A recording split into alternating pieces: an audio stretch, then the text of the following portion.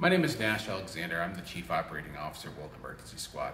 We're a mobile health care provider and ambulance service serving the towns of Northumberland, Wilton, and Saratoga on the outskirts of Saratoga Springs. We're so appreciative of the Adirondack Trust Community Fund and to be a recipient of it in 2020 is humbling. We provide ambulance service to over 3,000 patients, CPR education to another 3,000 community members, including school students within the community.